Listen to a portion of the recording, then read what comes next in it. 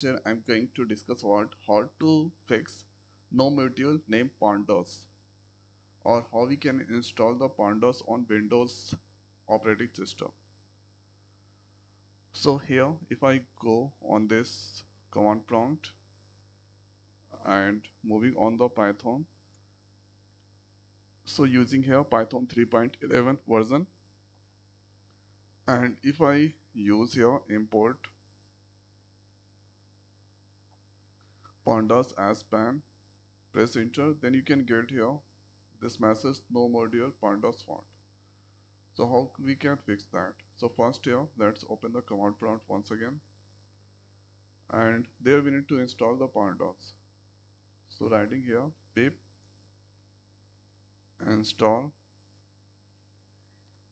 pandas. For this one internet must be connected and here you can see this information that means it's start doing uh, uh, here you can see start doing uh, download and install. So this time successfully install numpy pandas. Numpy pandas default this one and this one. Let's write here python. And uh, I'm going to check the version of the pandas to get the version you have to write this code paste there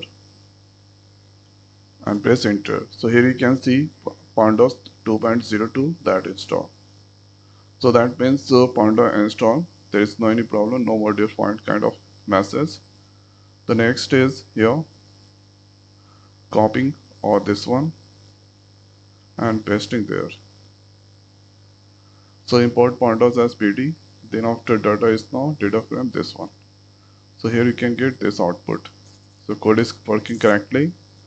And thereafter in last going to copy this one and pasting there.